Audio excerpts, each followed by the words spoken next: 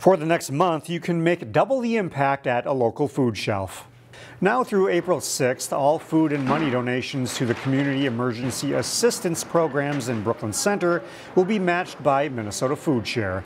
That's for CEAP's 2024 Community Challenge. Associate Director of Advancement Katie Briggs says every dollar donated to SEEP will be more than doubled. Right now, the need is very, very high. CEAP is seeing the highest percentage of first time visitors to our food market in our 52 year history and need for Meals on Wheels continues to rise as well. CEAP's goal is to raise $150,000 and 150,000 pounds of food through this campaign.